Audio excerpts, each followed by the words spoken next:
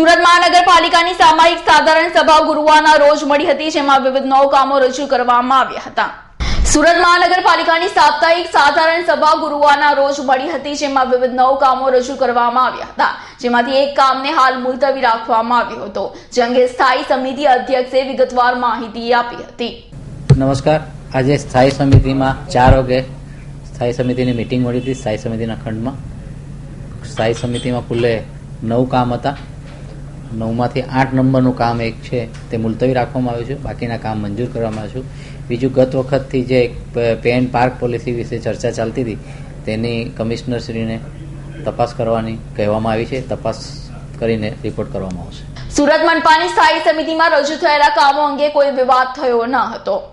Bureau report, Surat.